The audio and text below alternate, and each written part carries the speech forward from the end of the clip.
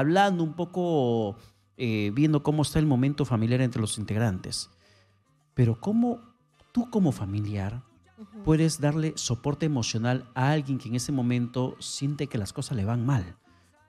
¿Cómo, cómo tenemos que Justo- comportarnos nosotros? Justo te iba a decir, hay dos aristas en eso que estás diciendo. El que tiene el problema y el familiar que apoya, ¿no? Cuando tú estás en el problema, lo ideal es buscar una red de apoyo, Ujú. precisamente.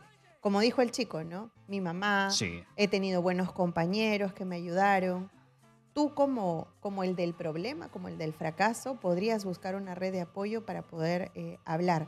Pero la parte importante es hablar. Ujú. O sea, comunicar, porque la gente, incluida tu familia, no es adivino de lo que te pasa.